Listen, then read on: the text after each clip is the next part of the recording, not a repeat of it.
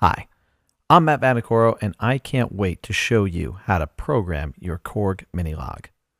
Hopefully, you already are familiar with how to navigate and move around and create and save programs, and you're now really excited to jump in and start manipulating those programs and learn why these building blocks put together and sculpted in such a way can create some really unique programs.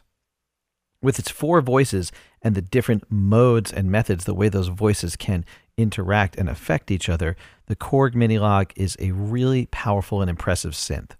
And there's a lot you can do with it. So if you know about subtractive synthesis and you know about the tenets behind what will cause what to sound like what, you will have a great time programming this keyboard. I can't wait to get into it with you. I hope you're excited. I hope you got your minilogue and you're ready to roll. So let's dive in and start checking it out.